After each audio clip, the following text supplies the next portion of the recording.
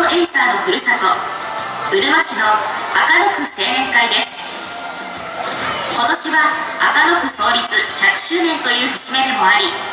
また今年の2月26日には NHK ホールで行われた地域伝統芸能祭りに出演。そして今回新宿エイサー祭りに沖縄県代表として選んでいただきとても光栄です。新宿エイサー祭りは待ちかましていきますので応援よろしくお願いします。